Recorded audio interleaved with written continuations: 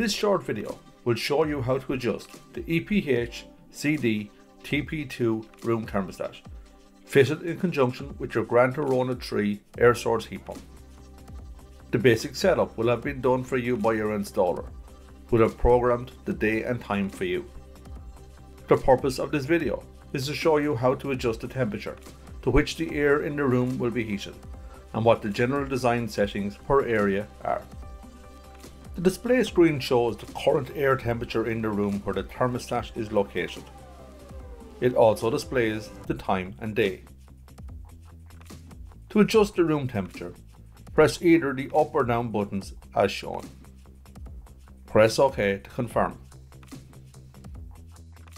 A flame symbol will show when the room is being heated and disappear when the required temperature is achieved.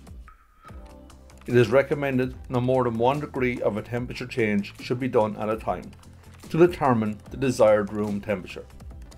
The time it takes to achieve this set temperature will depend on the heat emitter type, whether they be radiators or underfloor heating, as well as the external temperature. Avoid if possible constantly changing the room temperature setting for efficiency reasons mainly. The design room temperatures are as follow. Living rooms and dining rooms and bed sits are heated to 21 degrees. Bedrooms, hall and landings, kitchens and toilets are heated to 18 degrees and bathrooms are heated to 22 degrees.